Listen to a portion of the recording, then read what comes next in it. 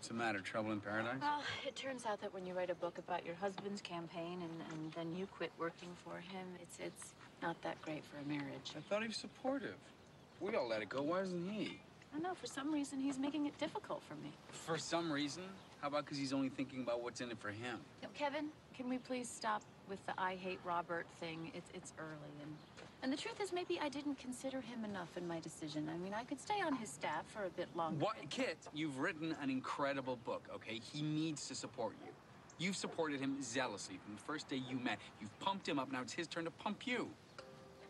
I think that's sweet. Hello. Welcome. Do you like to fish?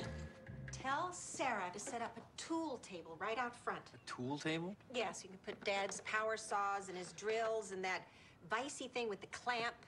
If the tools are out front, then the husbands are more likely to stop when the wives tell them to. Ma, are you sure you want to get rid of everything out there? People are going to start coming by any minute now. And when that stuff's gone, it's gone.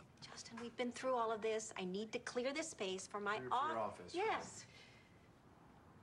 What? All right, look, I know how hard it must have been to find out that Dad had another affair, okay? Uh, but I, I just don't know if this sale is you acting out. Not, not that you don't have a reason to act out, but I'm not. I get why you're angry.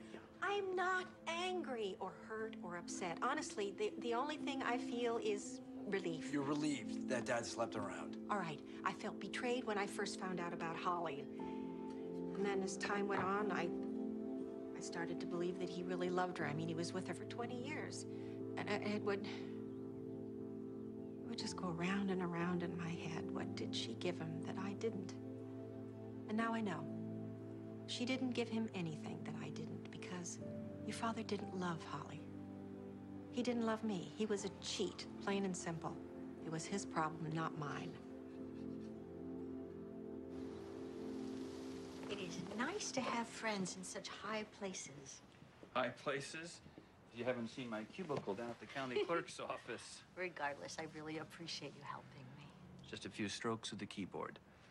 I've got everything the state has on Ryan Lafferty.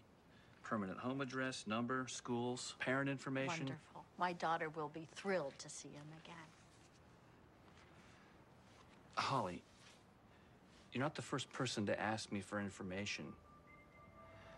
I don't want to get involved in something that can come back and bite me. Um, recently, I found out some information about this man that I was really close to, and I had some questions. But he passed, and I was hoping that Ryan Lafferty could give me some of those answers. It's nothing illegal, I swear.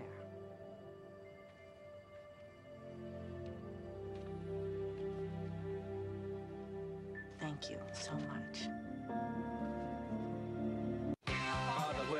Wears his Sunday best. Mother's tired, she needs a rest. The kids are playing. Sister's in her sleep.